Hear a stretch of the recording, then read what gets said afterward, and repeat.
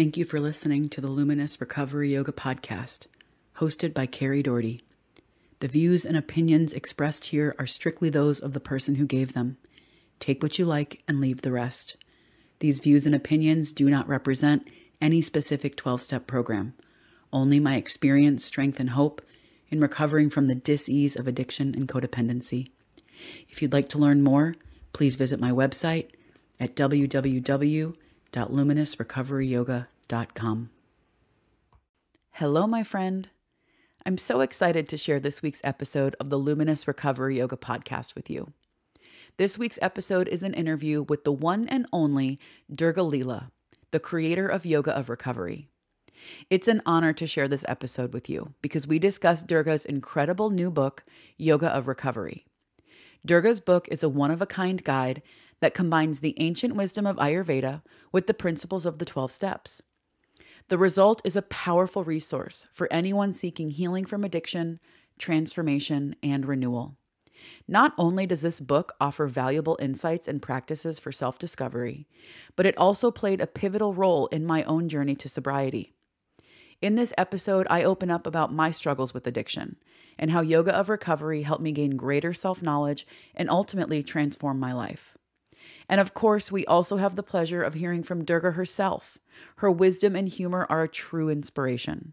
So sit back, relax, and get ready to learn from the best, Durga Leela. All right. Welcome to our uh, listeners and to people who might be joining us for this episode. I am Kari. I am the creator of the Luminous Recovery Yoga podcast, and I am here with my precious teacher, Durga. I have uh, been introduced to Durga through some of the work that um, I've done with her via your online courses. But then also, Durga wrote this book. I'm going to show it off here. It's a pretty book. It's called Yoga of Recovery.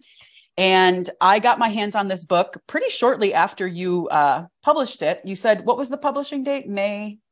May 19th, May 19th 2022. So that's the yeah. that's the birthday of the book. And I think I got this book sometime this summer and I really love it. And the opportunity to interview you for this book is very special to me. And, uh, you know, I have a lot of reverence for my teachers. So thank you for being one of my precious teachers, Durga. And um, as I was telling Durga before we hit record on this episode, I actually got sober halfway through this book.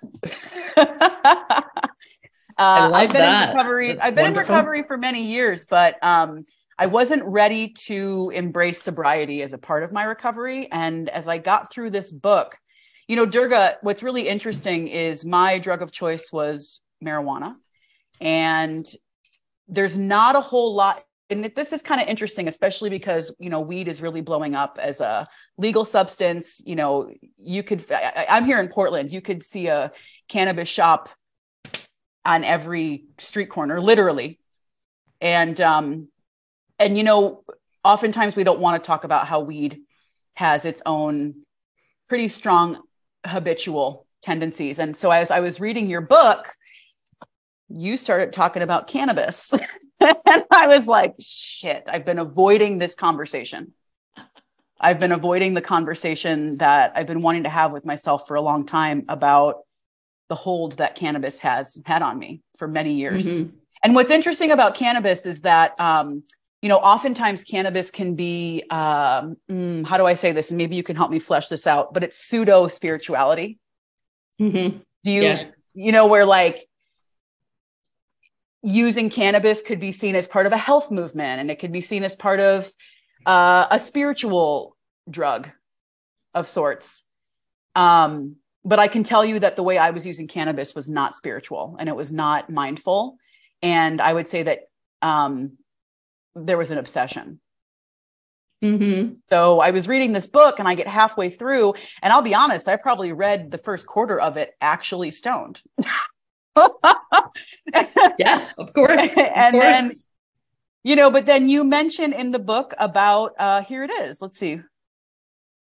I'm trying to think where I saw it in the book. Oh, it's oh, here we go. Um, yep. You talk about the senses this is in chapter on misuse of the senses and addiction. And in fire, which you also pair with sight, eyes, and feet, Uh, addiction behaviors that impact the system include smoking, cigarettes, vaping, and cannabis. And I was like, oh, Durga. so, um, yeah, so I, you know, I want to say I actually have this book as part of my gratitude for finding sobriety because you name it, you called it out. Well, how did you relate to that as you saw it named? Because here's the thing I don't believe the message of our addiction comes from outside of ourselves. Mm-hmm. I believe it comes from a push pull, strongly encoded, deeper sense of self that's, mm-hmm. you know, it's gentle and loving towards us, right? So it's kind of saying, I see what you're trying to do here, but it's not the right way. It's not like, like the right solution. It, maybe it worked back then, it's not working now, because otherwise there would be no misery in addiction. Mm-hmm. Because some of these things are short term feel good right? Mm-hmm. But that's a little bit of the problem is the the brief covering over, the brief numbing out of something that is roiling under within us. Mm-hmm. That's going on. So as you as you say all that, um, you know, and especially every conversation about is this an addiction? Because we have moved way beyond the alcohol and drugs. Mm-hmm. and you know even cannabis like is it a drug? Because it's a herb. And so like i've hung out with like reggae stars and they're like you know it's the herb. And i'm like yeah it's the herb. And it's it is part of certain people's religious practices and things. Mm-hmm. even in india you know you'll always see people smoking um all of that. But the, the book especially comes at it from a like embodied aspect of how can you how can you maintain a mind body system that's kind of healthy and happy um, and the thing is, a lot of the time we're not healthy and we're not happy. And so therefore we are reaching out for things. And so as I hear you say that, that's where my question is what's the unhappiness that you're reaching out for? Because it's, it's okay. People say they're using medical marijuana, right? Mm-hmm. Um, mm-hmm. And you know, it is my favorite thing recently is a YouTube video with Robert Svoboda. And he mentions the the use of cannabis, and he he says it so succinctly, according to our medicine system. There's three things a substance can be. It can be a food, it can be a medicine, and it can be a poison. Mm. So cannabis isn't a food, right? Mm-hmm. So is it a medicine or poison then? It is a medicine when it is used for the proper condition in the proper dosage for the proper length of time, right? right. like any other herb.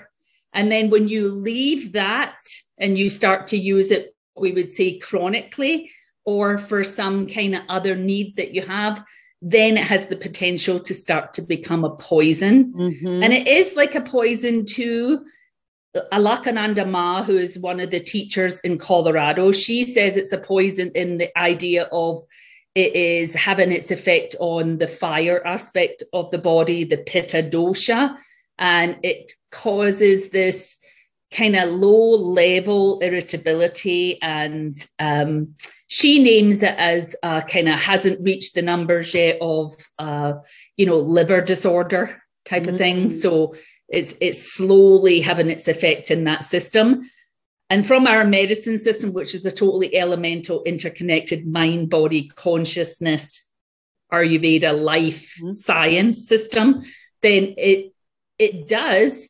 And that manifests differently in different individuals according to their own constitution, according to many other factors. So, it, given all of that, um, it also it also has an effect on the prana, so that the actual life force and vitality, and that has to be in flow. Mm-hmm. Um, and mm-hmm. that's why we all do yoga because and without even knowing about it when you go into a yoga class you'll get that feeling of like sort of flow, even if it's restorative, right? It doesn't have to be like power right. yoga or anything. There's just that feeling. And we are, we are that. That's what is living us, right? That prana. And so our connection to that is really important. And a lot of the, a lot of the substances or behaviors that we mm-hmm. use I I grew up in Glasgow in Scotland, so we we're used to the term loan sharks, right and mm-hmm. and i think i put that in the book it's like you're feeling a little under par Mm-hmm. And it's like if you said it financially, you need a dollar to get you through the afternoon or to get you through this particular right. feeling or situation in your life. But here's these things are sitting there and they don't really give you the dollars worth, they give you five dollars worth.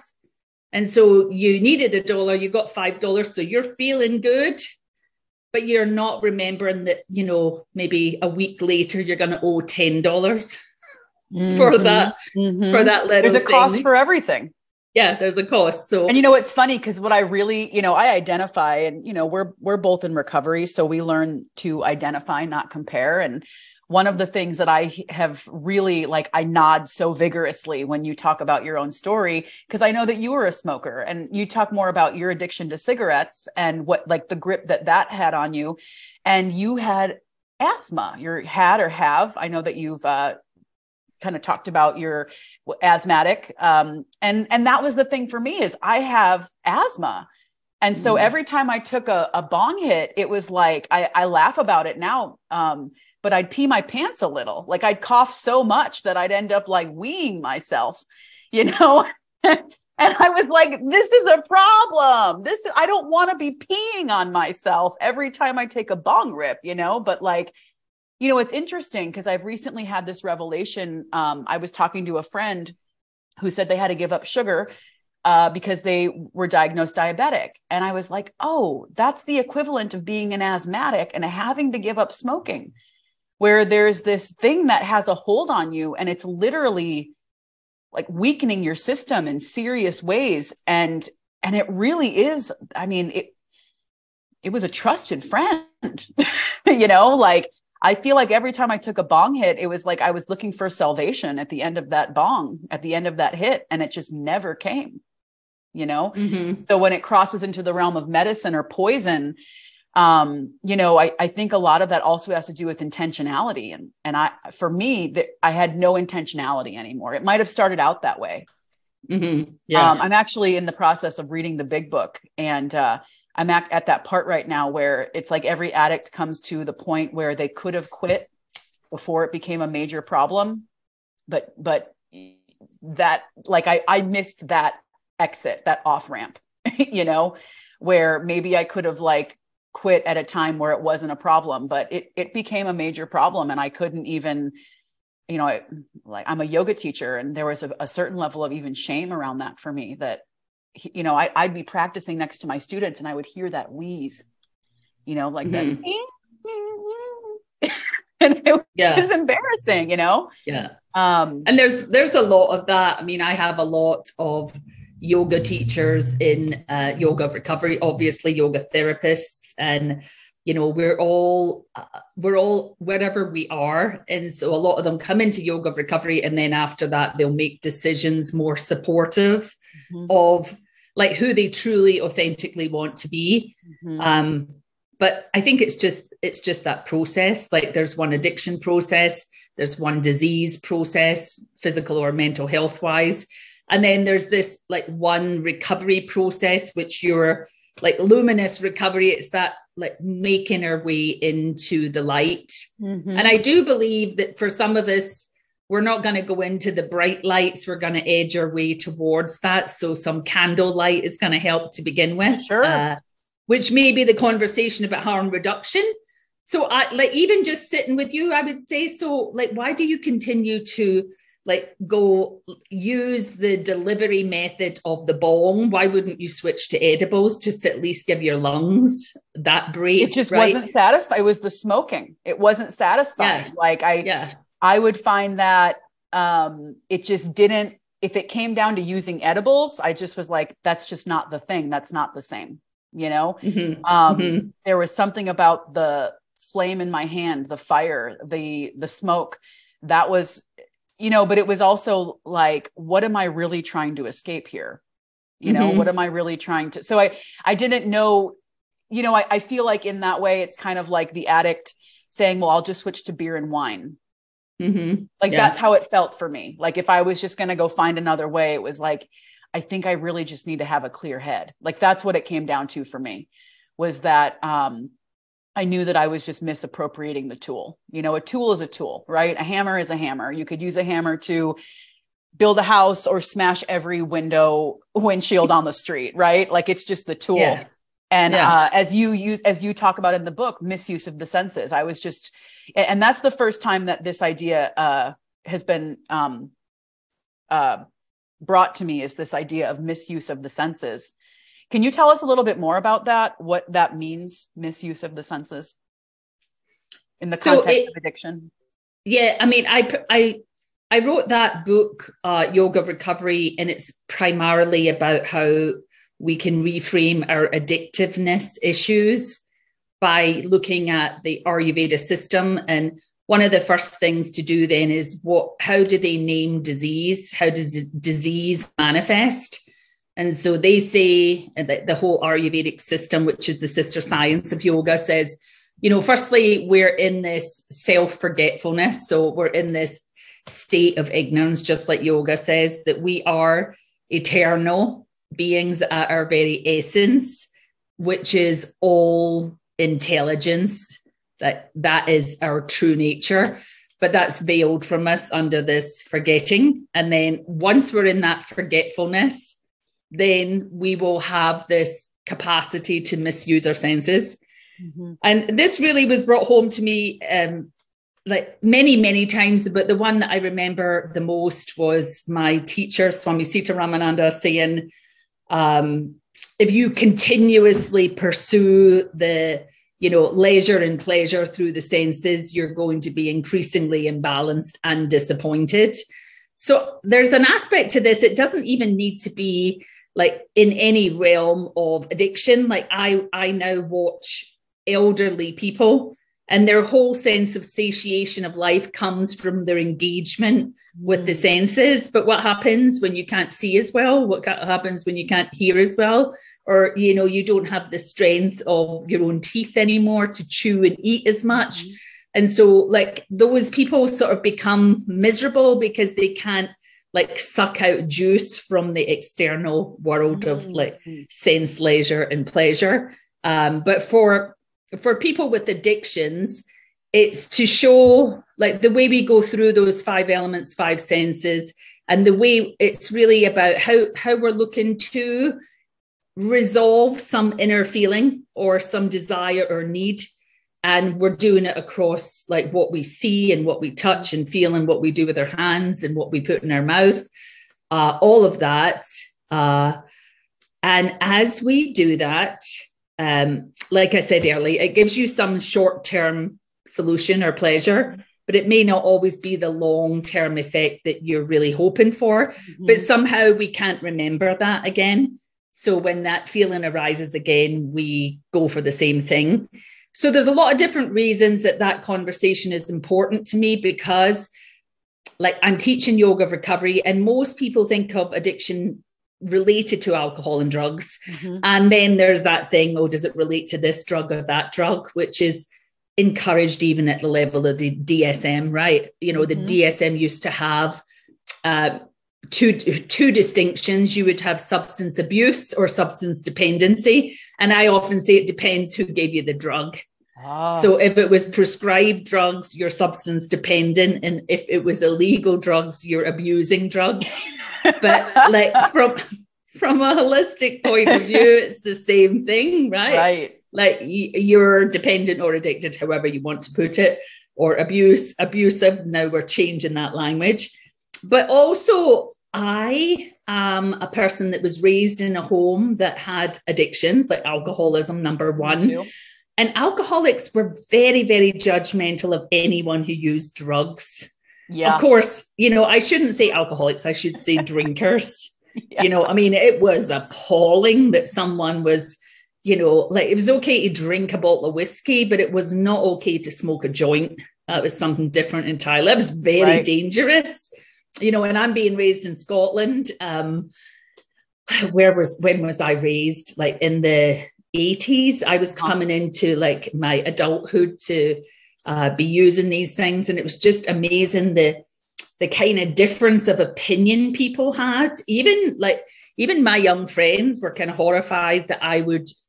And this was interesting for someone as alcoholic as I was that I started on um, smoking. You guys call it weed. In, in Britain, we would call it dope because it wasn't this grass stuff, it was like uh-huh. much stronger.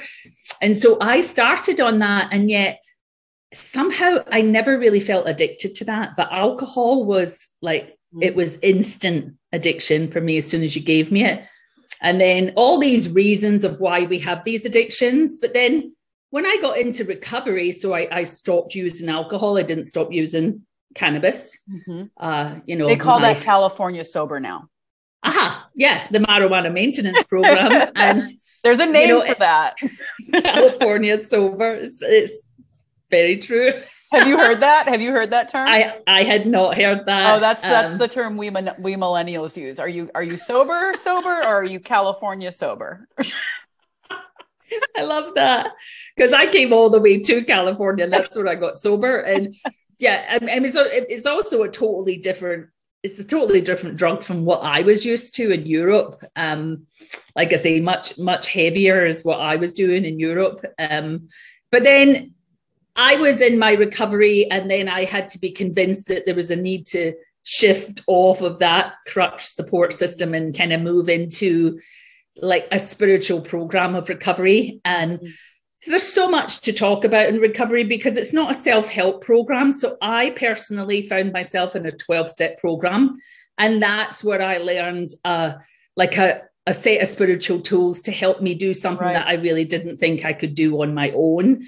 And some of that was from um, like really deep felt weird like spiritual experiences changes synchronicities and things like is time you know there's change mm-hmm. here mm-hmm. and then um that's like the spiritual part of the program and then there was also that group support part of the program which was so huge and in the process of doing that here i'm discovering all these other like really pesky little uh, expectations obsessions attachments behavioral um, quirks that I have that are making me sort of miserable. Mm-hmm. And it, mm-hmm. it goes across what I'm eating, like my desire to move and exercise and sleep, and you know who I'm hanging out with, uh, looking for relationships, like the whole thing. My relationships with my family. It was like, oh my god, this is this is kind of never ending. Um, that I could belong to every 12 step program. And I feel then, the same way. I feel like I have to pick one because I could go to everyone.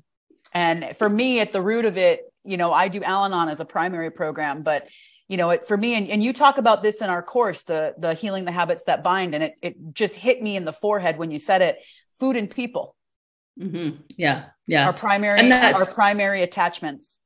Yeah, that's where we get to when we're looking at the root, the root of the behaviors, like it, the cause, the cause, and and that is something that holistic healing constantly wants to do is you know bring it into the individual so that we can be empowered in our own choices and we're looking for not just always looking at the symptoms but looking at the deeper causes mm-hmm. um, so that aspect of the disease when we look at it across all five senses then i feel like we make an invitation or we like we signal to the people that have those lives of misery based around food and people and other socially acceptable acting out addictions or like behavioral disorders. Um, like we invite them in for this conversation and there's something about addiction which can be like you know it can be deadly. So it's a huge pathology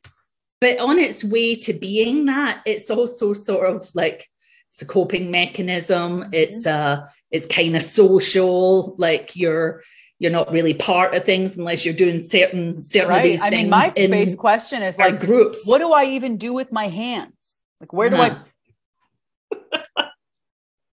put them you know like if i don't have something going in my mouth like what do i do with my hands you know? Mm-hmm. like how do i even manage this body part? Yeah. You know? Yeah. But it is and that was you know and i know you talk a lot about process addiction as well. Yeah. Yeah. And so it's it's quite the ride when you get into recovery and then you sort of begin to see a little bit more clearly.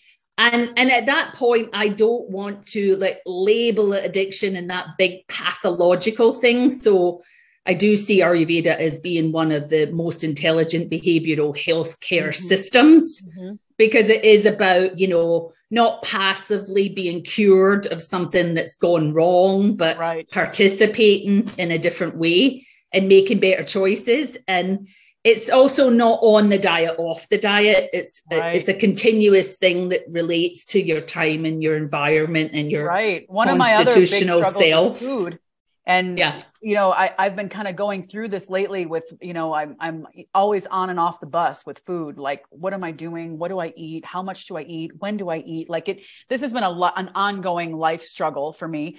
And yeah. in our course, Healing the Habits That Bind, you know, this term we've been talking about the senses, and it has really opened up just my eyes to um, taste and the, how the senses you know really play a role in um, the food choices that we make. And you know you, we've talked a lot about sweet the sweet taste and that's something that you've talked a lot about.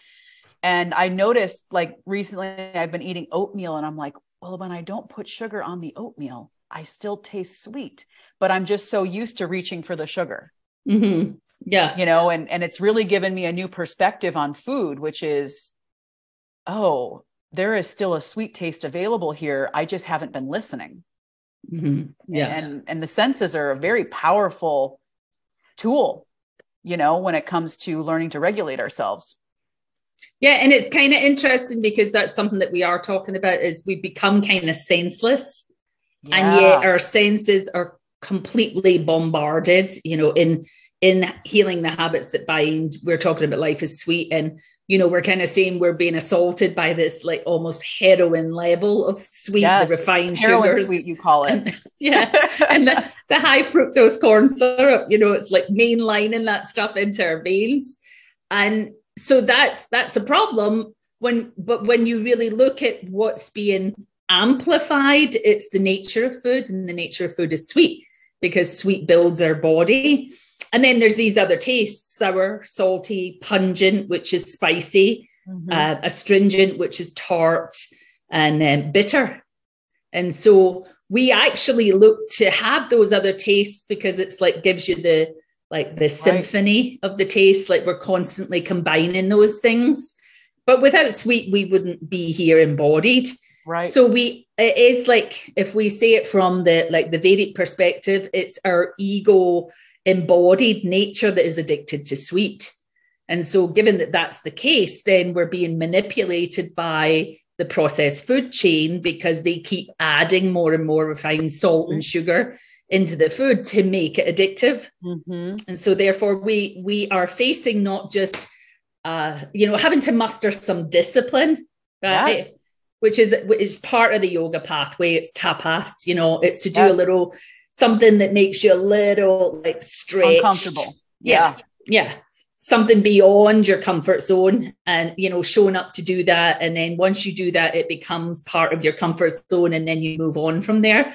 Uh, and that's one thing I would say about the whole teaching what I teach. It's a long term process, but it's not a grind, it's a joyful, like becoming awake process. Um, it's an empowered process, it's hopeful and it's also like you can you can like lapse into a different level of behavior and it doesn't mean you have to kind of like shame yourself and write right. yourself off because there's there's so many different aspects to our like showing up for her ourselves that like if you have a a time when you've like we're, we're heading into like holidays people are going to eat a lot of things that wouldn't be their higher choice but it's like you can go into that and then, you know, come back out of it and you don't right. have to descend into the depths of having failed. Right. So it's being a little bit more gentle with yourself and it's it's giving yourself a fully rounded approach. Um, so like, you know, if you're eating that, then like don't eat it at night before you right, go to bed right. or you know get up the next day and take a walk or take a walk after you do something so it's always kind of antidoting so our thing is balance. Right. And ba- balance looks different in different stages of your life and different situations. Um, and I think we can be, yeah, we can be supported in a group to understand that a little better. And you can also have uh, like an Ayurveda practitioner like guiding you on that like a coaching type of thing. Is that uh, what you say? So I, I, have a couple of questions and this is a good segue into um, you're a yoga therapist and you also train yoga therapists right?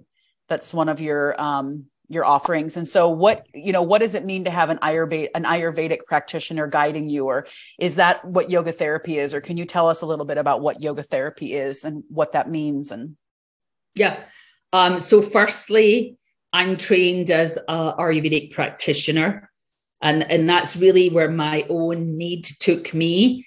And to become an Ayurveda practitioner in the USA is a different thing than becoming a yoga therapist. Mm. So I trained in Ayurveda, and then I also took a yoga teacher's training course. That was back in 2001 to 2003. I completed that part of my studies. And then I was only doing this to reach people on a recovery pathway. And what I wanted to do was add all these different component parts of like what I felt was needed to keep me balanced on my recovery path.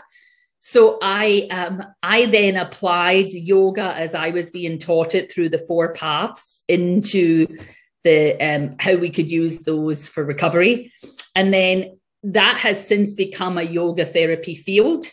And so yoga therapy wow. is where we take the practices of yoga and we apply them to improve or create more balance on an individual's physical, mental, and emotional needs. Mm-hmm.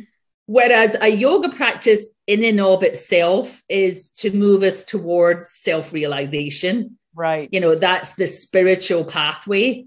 Um, and so these intersecting uh, like we have intersecting identities and we also have these intersecting like aspects of what a system can do for you. So you can use yoga as you know it will help you with your um, sore knee. It will help you with your anxiety right? Mm-hmm. and then you can also use yoga to sort of transcend some of those more mundane tendencies towards behavior that's going to bring you into increased imbalance uh, with a view to like really experiencing the the clarity of mind the peace of mind and an aspect of like just loving compassion like as a as a a choice in your daily life. Yeah. So a- ending the struggle kind of with the the the how, how, how could I say that lower choices, the the more reactionary stress personality that a lot of us right. have, and then the stuckness that comes from that, that our own self judgment sometimes is that stuckness. So a, a, way into more freedom and peace.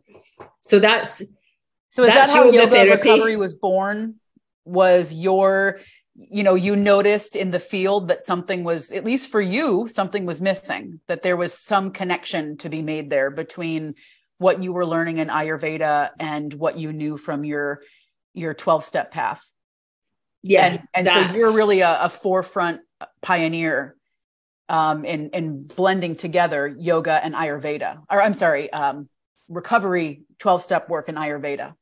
Yeah yeah and you know two words to describe that piece of my work which is just recovery embodied because mm. I, I thought it was it was interesting that if i was sitting in a therapist office i was doing the kind of psychological talk right. therapy and then i was also on a mat doing my yoga practice i had even done that as a practicing alcoholic smoker addict right. all of that and then um, i was sitting in uh, recovery pathway, mine being 12 steps, and it was telling me I'm using a set of spiritual tools. So it's telling me to pray and meditate. Mm-hmm. And so I kind of get that. I, I was raised in a religion, I was practicing yoga on the mat, I was in a spiritual program, I was in talk therapy. And yet, for me, my my body was left behind. I mean, there was the there was the aspect on the mat, but that's where like I'm about to teach in April, April next year, May. Mm-hmm. Uh, between the mat and the meeting is what my, my work is called because yeah and what tell us more about that what what would people expect to find or learn in in that course yeah well that course is kind of about just what you were saying this was me having found this embodied practice, sister science of yoga. And then it's like, oh my God, this this so fits what I now need. And I often say I had the hunger that food wouldn't take away and the tiredness that sleep wouldn't remove.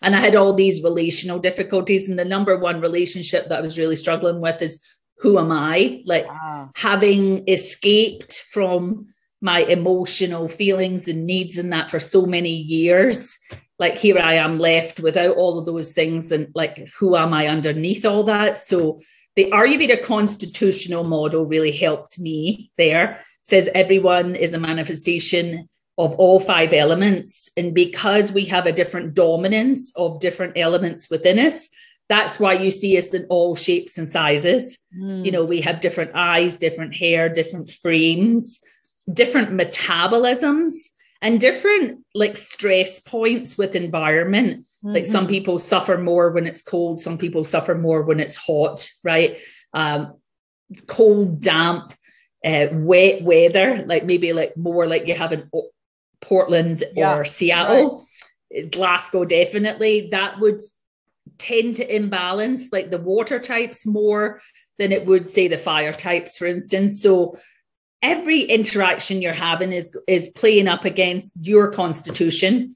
So my thing with that was i was over it trying to make myself better at that scientific media advice level that's based on one size fits all. Mm-hmm. that really wasn't working for me. And i think as we're now in this 21st century people are beginning to reclaim like you know like body positive and stuff right. like that to right. me 20 years ago ayurveda it's never been a better time to be chubby like when i was young and i i needed a new outfit that was like well i'll go to the gap and buy a pair of boys pants and that was humiliating like as a young uh-huh. girl to have to go always to the boys section because i was husky nobody wants yes. nobody feels good in, in that situation. And yeah. nowadays you yeah. can walk into almost, I, I'm telling you, I was at the mall recently and I was walking past like one of those like cute popular stores that I would have died to fit into those clothes back in high school. And the mm-hmm. the um the model on the um you know the advertisement at the front of the store had stretch marks. And I was like, oh my God. you know, like we've changed. yeah. You know, and and thank God, you know, but I, and but I also gotta say, no matter how much virtue signaling the corporations are making towards us, they're still the people that cause the problem in the right. first place. Absolutely. Right. And so I, I have no trust for them.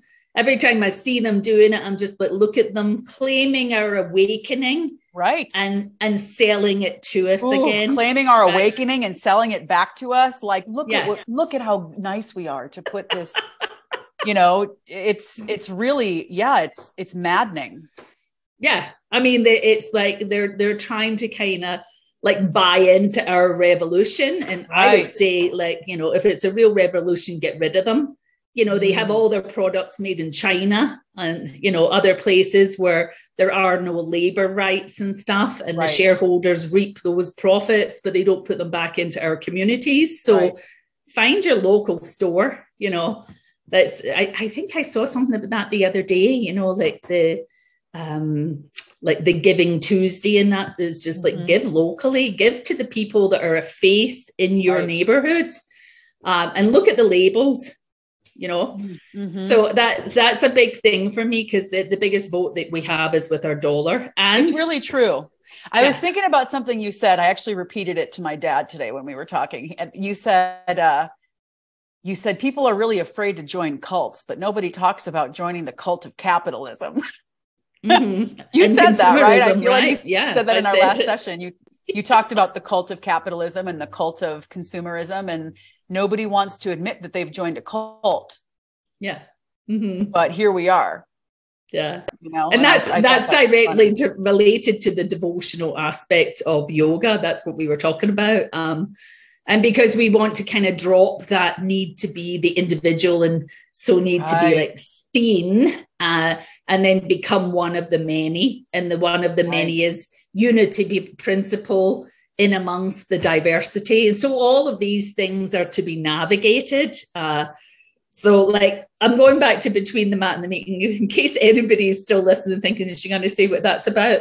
So, the, the name of that comes from the fact that I did have, I had a therapist meeting. Uh, you know, it was a means tested therapy that I was in, so I could afford it. Mm-hmm. Um, because one of my things about being here in America was I didn't have health insurance. And so, a lot of the scientific media, all those MRIs, PET scans, rehabs that they're all talking about, that's that's not within most of our rich folk capacity. right. Yeah. 10 percent 10% of people that need rehab are going to get rehab. Right. And so I never went to a rehab. Um, and then so I was in a meeting, I was in a therapist meeting and I was on the mat. But I was really struggling with what I call the other 22 hours of the day, right? Mm-hmm, mm-hmm. So um, in the daytime, like something's wrong with me. I'm standing in front of the fridge, looking into my fridge, thinking I'm hungry. I shouldn't be hungry. I want to eat something. What can I possibly eat? What's right for me? I don't know. And then, you know, sitting on the couch feeling really tired because I don't sleep well at night, beating myself up that I'm supposed to be out there doing some kind of aerobics cardio exercise whilst I'm smoking and trying to recover from like years of abuse on my body mind system and, you know, childhood traumas like right. the the ace stuff right? Right. And so i was i was kind of left to my own devices there. And what you said to begin with i totally agree with that these teachers began to show up in my path. And I think, you know, when the students ready, the teachers do appear. Mm-hmm. And I was really gifted with the science of Ayurveda. And that's what Between the Mat and the Meeting is. And that's what that book is mostly about. Mm-hmm. And, and then I have this other piece of work, which is the six tenets of yoga of recovery, healing the habits tenets. that bind. And then what am I doing there? I'm trying to look at who we actually are and then those ways like i, I call them pitfalls mm. that we kind of reach out to like coping mechanisms resolve our stress and pain and hurt. And it starts to become problematic. And where yoga meets us in that. So those six tenets of life is longing because we do seek back for source for the the the like the eternal resolution from all these hurts and pains. Mm-hmm. and then life is prana because we do seek vitality. And then life is relationship because it's impossible to live outside of relationships. We're mm-hmm. constantly in relationship. And then life is sweet because we will self-soothe using our senses and it doesn't have to be self-destructive. It can feel really good and it can be very constructive and positive. And then life is love mainly because that's what we seek mostly. You know, we kind of seek the love and approval of ourselves and others. And then life is progress. So all of those are different ways that we're manifesting these like deep needs. And then where I think in some sense we have the capacity to act out and have the need, but not get the needs met because it's the inappropriate yeah. like, um, tool that we're reaching for or solution.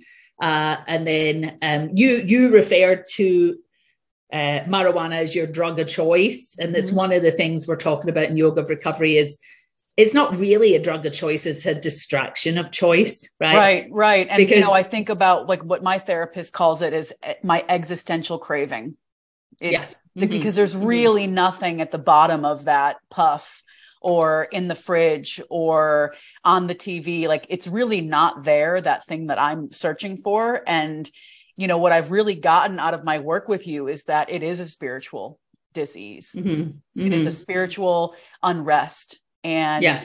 um, and that there's just got to be a like a deeper solution because it's it's not i'm not you know I, I do the same thing i look into the fridge like what are you looking for in there Kari what do you think is going to come you know it's just it's not there uh-huh. you know? Yeah. And but uh, we are sold constantly a material solution. Absolutely. So like a physical material solution. And this is where yoga really needs to step up and be who we truly are especially at a therapeutic level. That we work with a western medical model that is based in like the chemical reality of the biochemical system right? Mm-hmm But in yoga, we are thoroughly trained on the more subtle level, just like traditional Chinese medicine. Mm-hmm. They have chi, we have prana. And so the more subtle aspect is the less physical, less tangible. And we can use the physical and tangible Ayurveda as a science of that. And then it meets its sister science of yoga at the more subtle level, like different poses for the body, different breath techniques, different ways to train the mind and into concentration and focus and flow. And so that we're not, you know, we become the master of our mind. Right, right. And so those are those are more subtle tools and then they are part of like our our deeper, more essential eternal nature, which is the spirit aspect. Um, so I think sometimes I want to say subtle rather than spiritual, because sometimes the spiritual brings up this idea of like if you're scared of a cult, you're definitely scared of you've been scared off of religion, right? You know, some kind of dogmatic thing, then you don't want to be any part of it. So like we're going into in January, I'll start teaching two more of the tenets, which is life is prana and life is progress. And one of the things that I like to do is how can you reframe the God aspect, which is the spiritual aspect of healing, into something that is like palatable to people, mm-hmm. accessible. So in life is prana, we call it in, in 12 steps, they call it a higher power or God. Uh-huh. And so for life is prana, which is the vital life force, we say, okay, it's a healing power or it's um, healthy prana that's our HPs, mm. or it's God, which is the great outdoors, mm. because you know nature is full of prana. And right. so people hear that and they're like, okay, I'm good with that. I'm good with the fact that I can be healed out there as nature, and nature can be my God.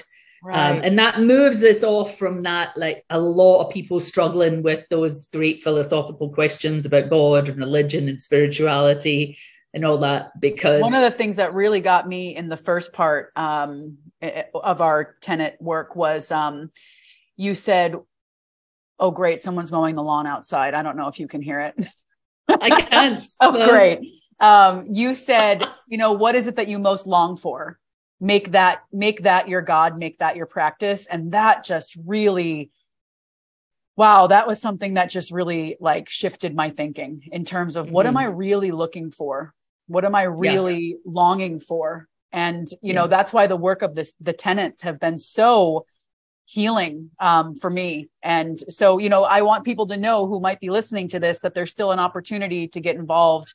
Uh, even before this episode will be released. So there will still be time to sign up for the last two tenets of Life is Progress and Life is Prana. Yeah, so we're going to be doing that live from the 30th of January through to the 27th of March. And there's a lot of pre recorded stuff on the course platform. And then there's seven live sessions where we get mm-hmm. together. And then on top of that, there's twice a week live sessions that are um, recovery meetings and book discussions. So there's a different way of combining all of this. So the the people I'm training as yoga therapists have come in and people in recovery come in and you have all these different levels of participation. If you wanted to uh, come to every session. Sometimes you can be four times a week in class with us. Mm-hmm. mm-hmm. And that's good for people that need that initial support that, right. you know, maybe they are feeling isolated and cut off or just really need to touch in to a group of people that understand what they're going through. And then there's our yoga therapists, and sometimes they are the same people, yoga teachers and other therapists that I'm training. And they're coming in to get like this broader perspective on like another healing aspect right, for people right. because we we need to offer people like the dignity of choice around how they're going to approach their own health and wellness. Mm-hmm. Um, mm-hmm. I think that that's a big part, and this one is it, it, you can work with it in many many different ways. So you can be taking medications to help you with your mental health and addictiveness, and using yoga of recovery. Right, you right, know, right. Um, you can be on a recovery pathway, any recovery pathway, and many of our people are not on a recovery pathway. Um, so there's all different combinations and permutations of the group of people that we are. Um, and I think the one thing is, is I still find it difficult to really explain what yoga of recovery is. So, hence, that's funny. That was one of my questions. Durga, what is yoga of recovery? and so then that's when I say it's not. It's not a 12 step program. It's not a yoga class. It's not an opinion on drug policy, right? It's none of those things. Uh, and then the best thing I can say is a complete reframing of the mm-hmm. problem and solution mm-hmm. according to the Vedic perspective thereby leading us into a lived solution, right? Uh, which is about recovery embodied and which is about taking that inherent addictiveness that many of us are living, that one addiction process, and being able to admit to where we are with that without shame or stigma or that pathological lifetime label. Right. And then finding a way to resolve it like over time for whatever suits our needs. Uh, and for that, some people join us when they're 20 years on a recovery pathway and they still find a lot of help. And some people are like, I was in a meeting with our groups the other day, and probably about 60% of that group were within their first year of abstinence. Mm-hmm. Um, even some people that are 20 years abstinence are still in their first year of abstinence from something else. Right. So this right. addiction interaction and all that is what we're dealing with. So when I say all of that, um, the two things that I want to like people listening, like my attempt to have this conversation reach our like grassroots communities because we can't wait for the experts to solve this for us, whether it's the opiate crisis or the daily misery that's being caused by that food and people mm-hmm. addictiveness, mm-hmm. right? Um, like we need to just get out into our societies and start having conversations that are like creative and accessible and welcoming to everyone at whatever level of suffering that they're at. So the book is supposed to be uh, a way to reach a that wider circle of people right? Yeah. And then to get on with us live we have that second saturday. So i was going to bring that register up. so people who are listening to this even if you're not ready to commit to say the whole uh, yeah. session you could come and join us for second saturdays which um, is donation based and you can basically get a taste of what we're studying yeah. yeah. in, in, in the tenets and those people in the course it's about bring your friends then right. you know because that's it's it's another thing that I think technology is doing to us is where we're all in front of our own screen and even this disease it says it's them and us you know there they are in recovery and here right. we are we're untouched by this but that's not true you know we're all part of this one addiction process and it's it's good to share that as well like you know most rehabs know that they need to have a a family program, they need to have an alumni right, program. Right, right. And the yoga recovery program is just pretty much 12 months of the year. We're offering some form of recovery support, relapse support, you know, a long-term emotional sobriety support. Like mm-hmm. we're is a whole range of people that are participating. Uh, so the, the book and the second Saturday, so the second Saturday 2023 mm-hmm. is the 14th mm-hmm. of January, the 11th of February, and the 11th of March. And That's the ones also, that I can um, remember. Um, people could find you on Instagram at Yoga of Recovery. Yeah. Mm-hmm. And my website's of, yogaofrecovery.com. Yogaofrecovery.com. I'll show everyone yeah. the book one more time. It's called Yoga of Recovery. Um, yeah. And, uh, you know, if you get the book and you love it, leave a, a review for Durga on Amazon because that helps. That helps you know, helps the algorithms. and yeah, it uh, helps get the word out there. I, I seriously need to help there um, because I never put much money into promotion. My my thing is let's just go Attraction do it rather than promotion uh-huh. anyway, yeah, right? Yeah, mm-hmm. yeah. And I, I have serious questions about the people that are running the social media. So I, I yeah. I'm reluctantly involved in that. And my my I know when they said uh, that assistant does it for me a few months ago, or I don't know, last year when they said, you know, like Facebook and Instagram is having a major effect on teenage girls. I was like, teenage girls. I'm 36 years old. I'm dying out here. Like it's yeah. not just, you know, and you know, God bless the children, but also God bless us middle-aged adults who are also just out here feeling absolutely inadequate. Yeah, you know? Yeah. So I think that really it, it's an affliction at any age. And um, it's an affliction. And when you look at the roots of where it came from, it doesn't, you know, the means are inherent in the end. Um, right. So you should watch those uh, those movies about what was it that they um, social structure or social networks or something. And yeah, you know, the very the very start of Facebook itself was all about what they now accuse it of causing. Right. Um, you know, so we all feel like incomplete and you know not enough, and it, it does really play on that. So yeah, it it does some good things, but mm, yeah. So I'm going to make sure to put in the show notes. And if you're watching this on YouTube, I will put it in the description. I will make sure to link uh, the different ways you can find Durga through social media, through Durga's website. I'll also put a link for the book so that people could just find it. Um, and then there will also be a PDF available um, in the show notes and on the description that just talk about all the different offer- opportunities that are currently coming up so that you could work with Durga, whether you join us for Second Saturday or you decide to join us for all of uh, the the last two tenets, which is life is progress, life is prana. I'll be in there, so if you want to join, uh, that would be great.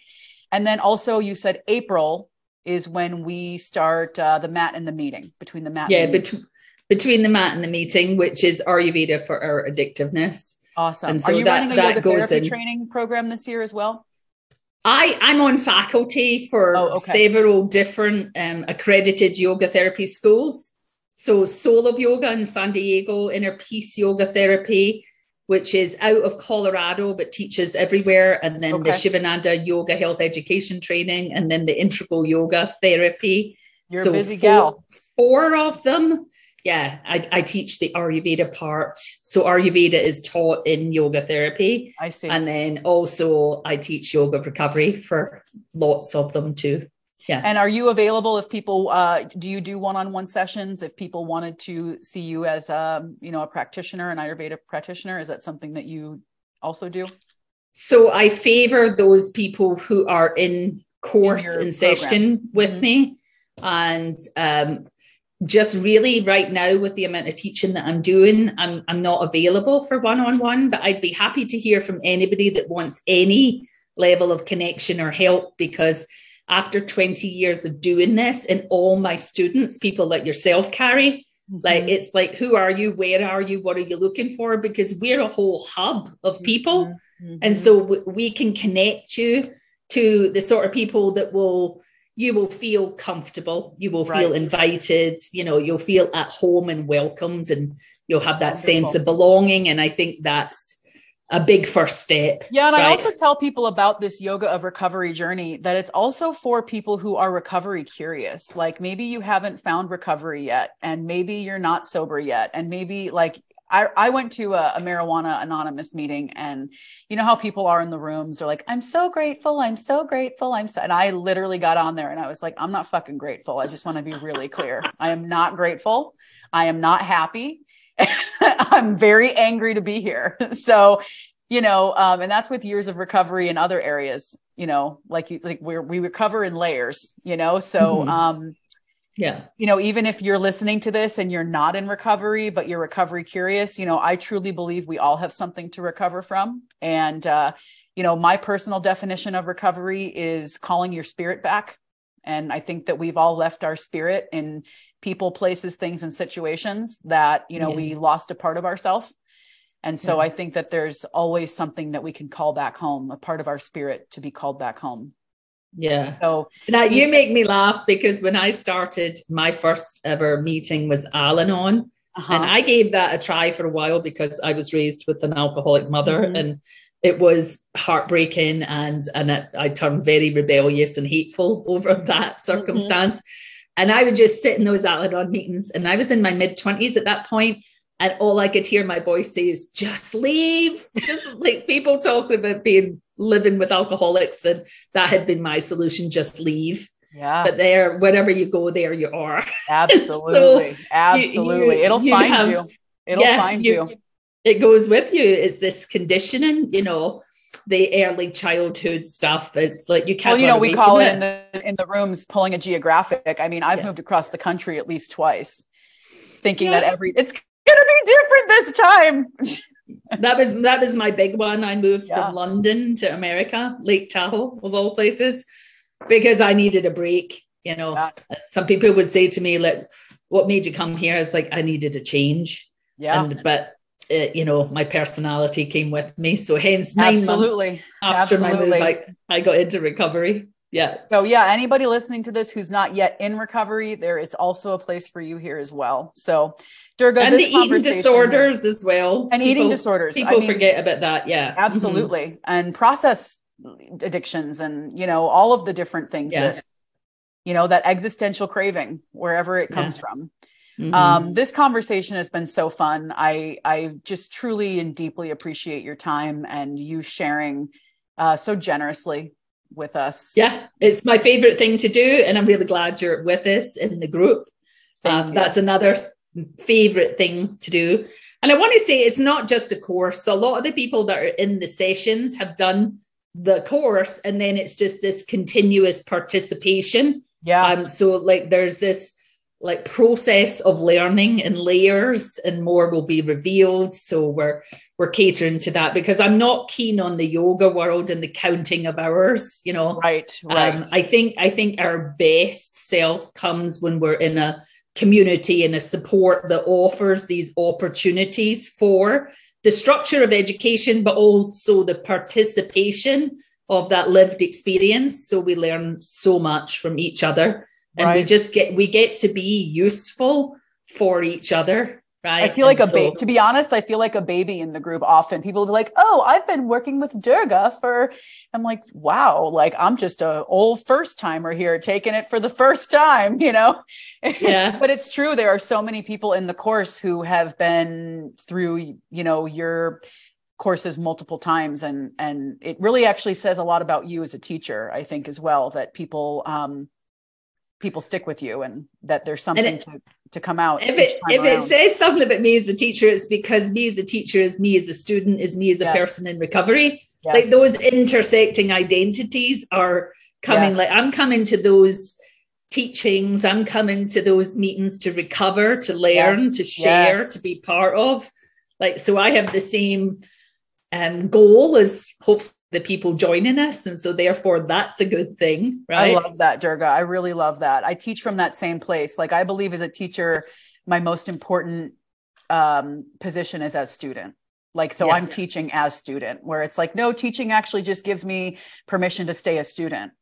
Mm-hmm you know? Yeah i love that. Mm-hmm. so thank you so much for your time. This is wonderful. I will make sure that everyone has everything they need to find you and uh, you know join us for any opportunity. And i just have to say um, you know get to know durga because it has been really amazing um, studying with you. And i look forward to our next session in january and, and uh, I'll, I'll say this in January, we will be out in India because another thing that I really felt the need to bring to this field was actual physical treatment. Mm. So once a year right now, possibly twice a year from next year, we will take a group of people out to India and you'll go through the Ayurveda Panchakarma process mm. at any stage in your recovery, three months, six months into like stability, if you're alcohol and drug addicted but like if you once you're signed on to these courses that's part of it as well so another aspect for people listening because it's been nice to hear you say like the sober curious you know mm-hmm. um but also the the people who have um just the kind of chronic lifestyle disorders you're also welcome because a lot of that kind of centers into this like you wouldn't say addictiveness but like rutted bad um, right. habits that right. we find so hard I have another teacher who says overcommitment is an addiction. I mean, just the, you know, yeah. so those of us who are constantly overcommitted, those of us yeah. who are, you know, we're the yes man, like anybody can ask us anything and we say yes, like there's an addiction, you know, that perfectionism addiction, yeah. like it's, yeah, like even just um, the rigor of living in modern society really takes yeah. Yeah. And the stress. So that, that aspect is, there's this thing that I really want people to hear is a continuum of care. Mm-hmm. So I will be online, I will be on site in Bahamas in May and in uh, an ashram at the end of April. Uh, so you'll be able to come and be live with us and be in practice. And then this this retreat in India that you'll be invited to is three weeks or four weeks where you get on a massage table every day and take this body treatment and do a kind of like detox that's not for alcohol and drugs. Detox i always have to say that. It's the idea of the um you know chemical and hormonal and metabolic rebalancing so that we can at least metabolize some of the things that's being thrown at us in our daily lives. And it's an it's an amazing boost that's a goal like, i have to, to, go to india yeah. with you sometime or to come yeah. do a panchakarma cleanse with you it's it's on my list of um it's on my list and and the list happens that's that's partly what i wanted to bring up was mm-hmm. i've met people on retreat i've met people online and then eventually we're all participating whether it's online whether it's mm-hmm. on site whether it's in india so over time probably if you set your intention all of that will happen yes right? Yes. And I've been doing it for 20 years. So I just want you to know that I'm just going to continue doing it. And then people like my assistants that are coming up and being trained, they're also going to continue on with this because Incredible. I won't be doing it forever. Right. Well, thank you so much for your work, Durga. You are a thank you, Kari. You are a, a true scholar and um, an incredible person to be with on this journey of recovery. So thank you for the work, your work you're doing, and for being a pioneer of this work. And uh, and we need you in this world. So thank you. Yeah, and, and uh, congratulations uh, on your um, shift Thank you. Thank you very much. You. So, uh, all right. Thanks everybody for listening, and uh, we'll uh, see you later. Thank you, Kari, and everyone. Thank you for listening to the Luminous Recovery Yoga Podcast. If you'd like to support the show, please consider joining my Patreon or leaving a comment and review if you're listening on Apple Podcasts or YouTube.